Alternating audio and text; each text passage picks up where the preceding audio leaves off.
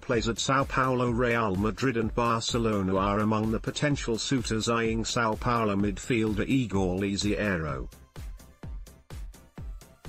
Several elite European clubs, including Paris Saint-Germain, AC Milan, Roma, and Juventus, are also interested in acquiring the 21-year-old's services. According to reports in Italy, Barcelona's technical secretary, Eric Abidal, has recently traveled to Brazil to see Liziero in person.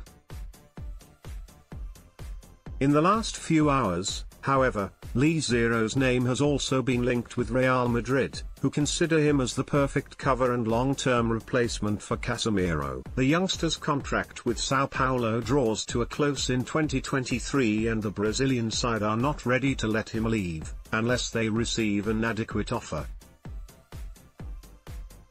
Lee Zero, who possesses an Italian passport, has featured in 16 games so far this season and has provided one assist.